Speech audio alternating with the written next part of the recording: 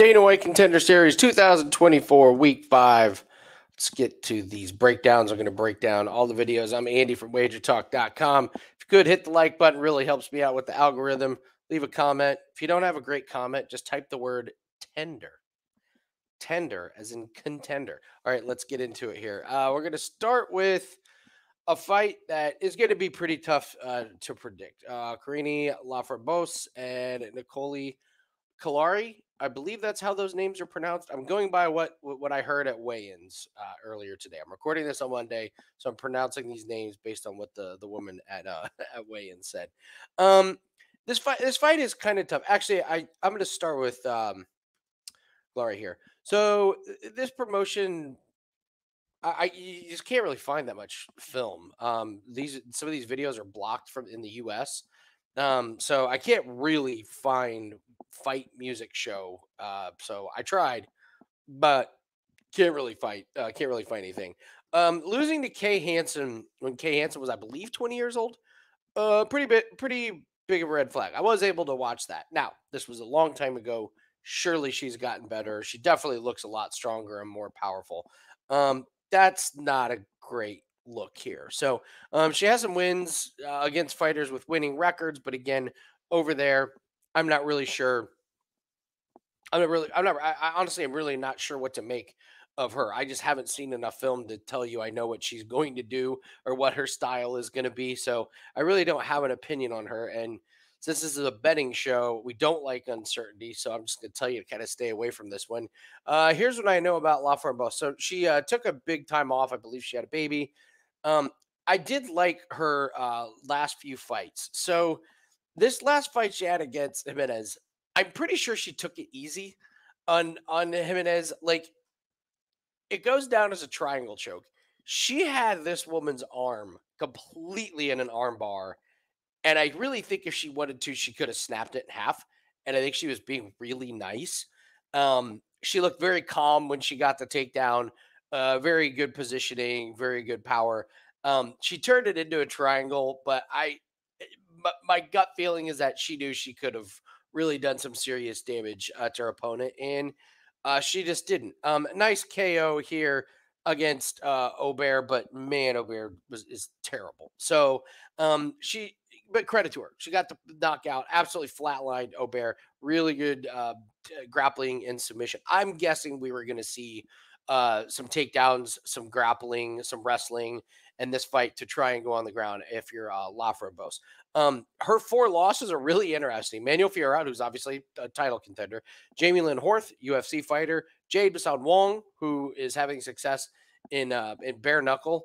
So her losses are to legit fighters. Um, this big break kind of worries me. We've seen some of these female fighters come back from having a baby. Sometimes they look great and then other times they look really terrible. There's way too much uncertainty in this fight. I have no opinion. I think the odds kind of suggest that it's like minus 125. Um, for purposes of this video, because I know that there's people that like to watch this video after contender series is over. And if I get a pick wrong, point it out in the comment section, which by the way, I need a name, a nickname for people like you. I'm going to pick Laframboise. It is certainly not going to make the client card. It is not going to be a bet that I make with my own money. We move on. Uh, Tanzilov and Musasa.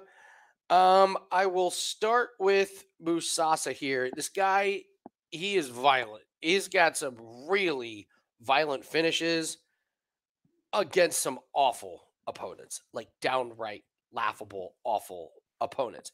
However, kudos to him because he made no mistake that he was a much better fighter and the much more violent fighter. Um, this is important to note because it's very different from the guy he's facing. This guy's already fought three times uh, this year. Now he's obliterated these guys. Uh, leg kicks look great. Striking looks great. I yes, you could absolutely poke holes in who he's fought, um, but he did beat a five one fighter and a six one fighter. Um, the flying knee was great. Uh, it was man, was that a brutal flying knee? He's very athletic. If you didn't see him at weigh-ins, shredded. Um, so I he's a big underdog, and I gotta tell you, I don't really understand why. I got a lot of holes in Tanzilov's game. Um, so uh, so Tanzilov's 26. Um, we haven't seen him in a while. Um, his last couple fights are really interesting because his fight against Eduardo Diniz, he showed this like his striking looked really good, like really crisp jabs, um, really quick in and out of the pocket. But then he's holding his hands down at his, you know, at his side. And, you know, he didn't look like I don't say like professional. I guess he does get the win in the third round, so kudos to him. But then this next fight, his opponent like takes him down and lays on top of him. Um, it's I'm pretty sure it's tied going into the third round, and he's not looking. Tanzilov is not looking that good.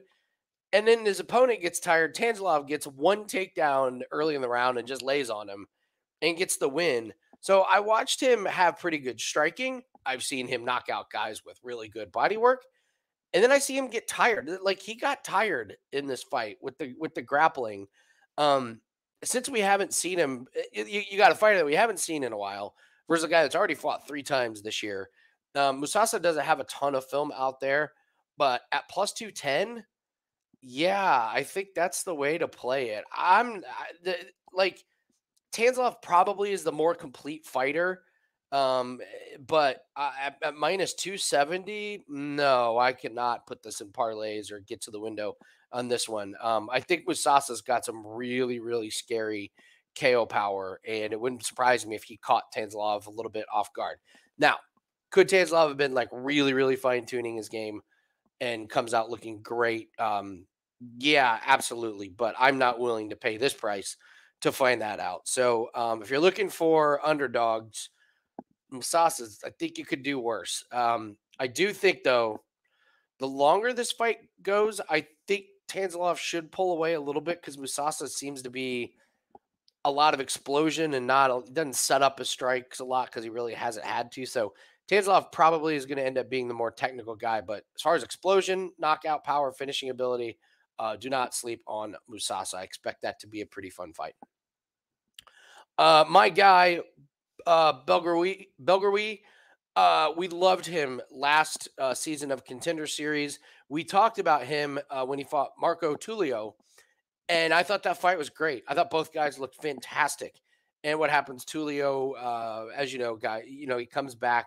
Um, he gets the the, the finish on, uh, on, on contender series, and so I'm glad to see Belgaroui back. Um, Belgaroui goes in um, like really good performances. He didn't get credit credit for this uh, finish, but he beat the you know what out of this guy. Belgaroui is long. These elbows are fantastic. He knows how to use his distance. Um, sometimes you see these really tall guys and they're awkward. Belgaroui is not. Uh, Belgaroui knows how to use his leg kicks. He knows how to use the jab. And if you shoot on him, he is ready to light you up with the elbows. So um, I love him. This is my most confident play on here. I know he's the best. I know he's a favorite, but in my defense, I mentioned how good I thought Belgaroui looked uh, when he fought Marco uh, Tulio. So um, I don't really have a whole lot of great things um, to say uh, uh, for Iwasaki. He just doesn't throw a lot of volume, um, in in in my opinion. Like his last two fights, he loses, and then this fight against Kim, like yeah, okay, he won, and you know Kim was kind of bloodied up, but there was a lot of moments of boring clinch work and control, and it, he couldn't get him out of there. And Kim does not look like that great of a fighter. Um, I, I he just doesn't really impress me. So you know, this guy's seven and six. He goes to decision.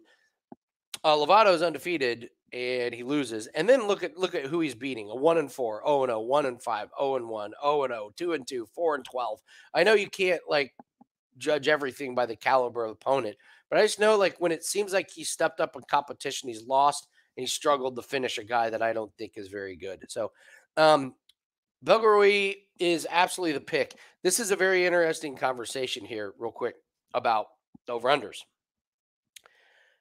The overs, we've started, I started playing more overs on this last UFC card it just feels like there's so much value on overs right now, and that these fights that we really truly expect to not go the distance, they end up going the distance. I know a lot of people were on uh, the under and the main event on Contender Series last week. It just didn't happen.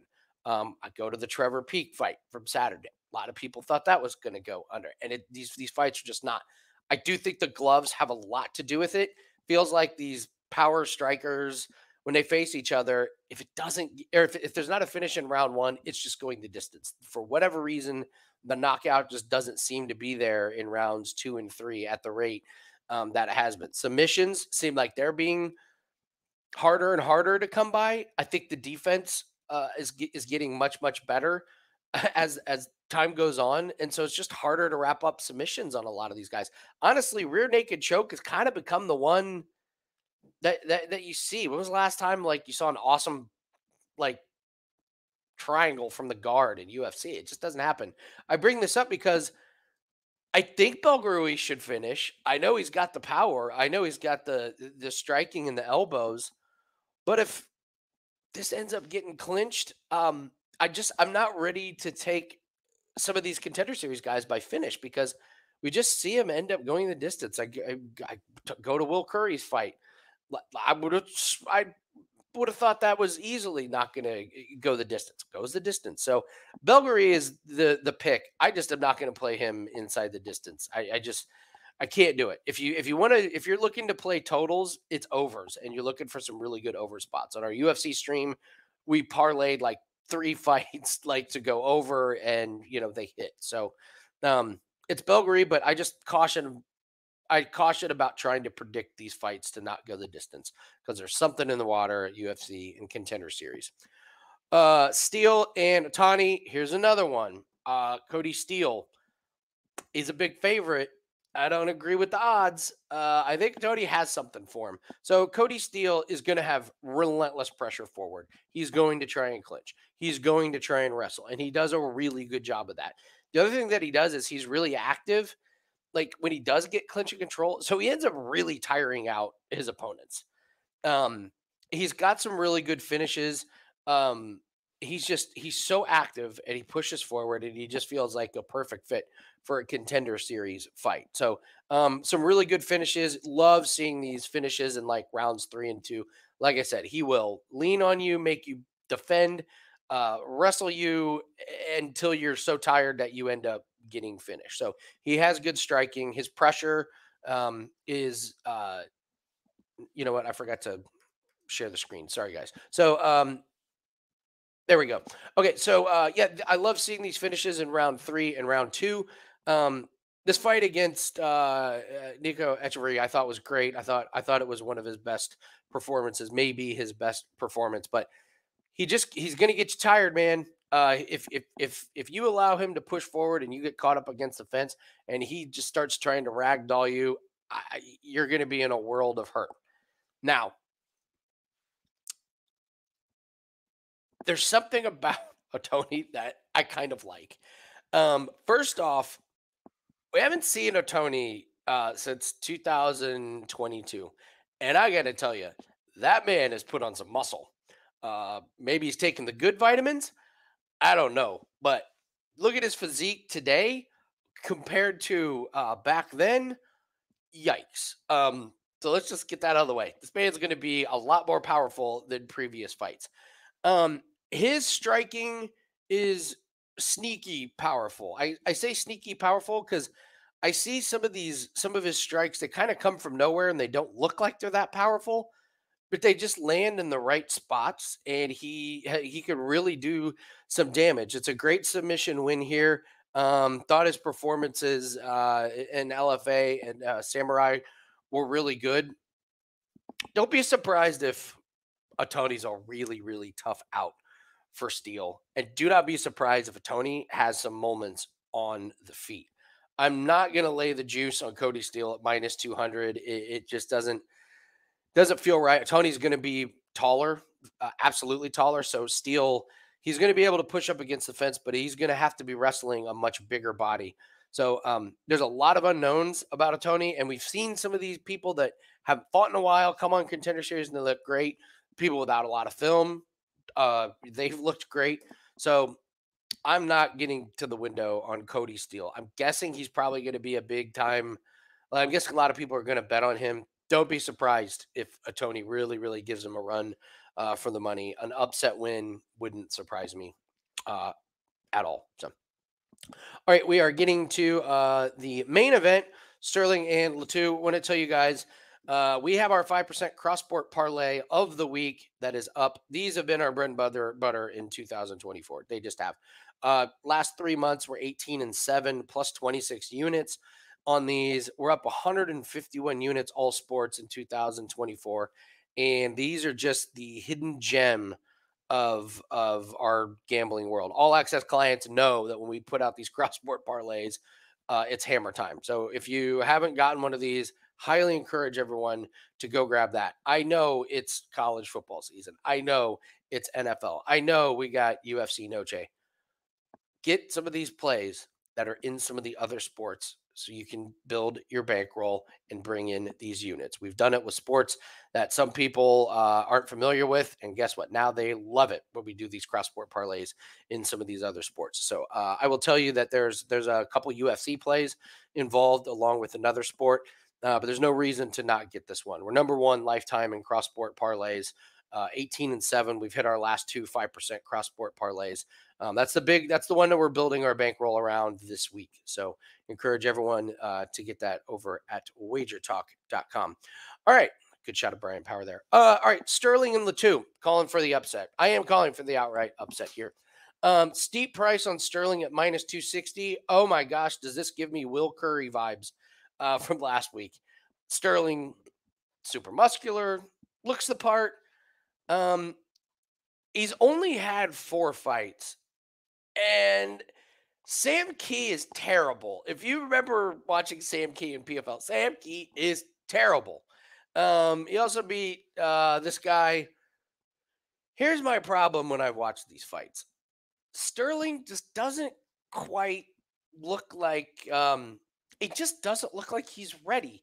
He doesn't um he I mean he's he he he looks really athletic, uh, you know, give him that. I think he needs more experience. His striking has good power he just doesn't look that comfortable. He looks indecisive at, at like um what he's gonna do next or how to set something up. And he's benefited from beating up on on some of these some of these guys that are just not very good. And I think his indecisiveness is going to get him in trouble um, in this fight. And that's why I like Latu. Latu, when he gets in the ring, he is the alpha and I think he's going to be the alpha in this one, and Stirling's going to end up being the beta. Uh, Latu is one of these just ultra tough, rugged, like you look at him with his shirt off, and you're like, yeah, okay, tough guy, but I don't know, this is like not ripped and shredded. And this is a guy that can take a punch, walk through a punch to deliver uh, punches of his own.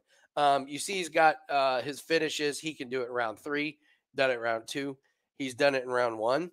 I think mentally he's just going to be tougher than Stirling. And as we saw in the Will Curry fight, Will Curry just he just didn't have that it factor. Um, and Latu is not going to be scared of the moment. I think Latu is just going to look like the more experienced guy. And even though uh, what is he six and one MMA, he's got some kickboxing fights uh, on his record as well.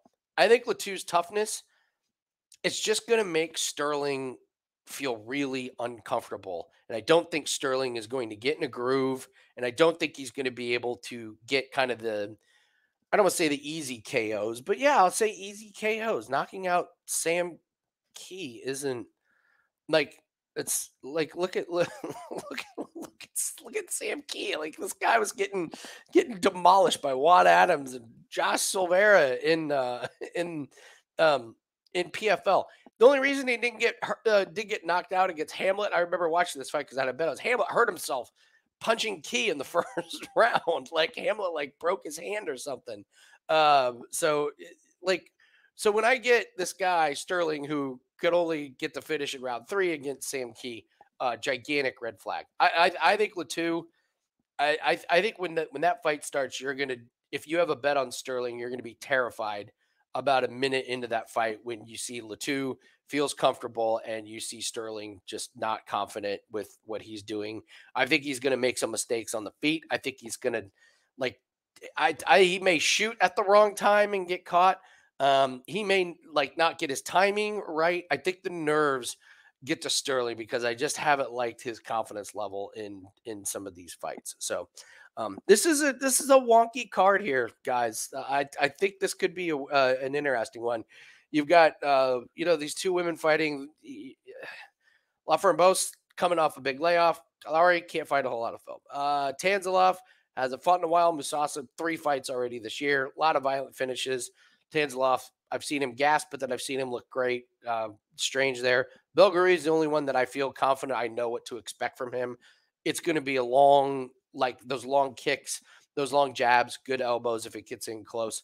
Kody Steele and Tony, I I know what Steele's going to try and do. Forward pressure, hold up against fence.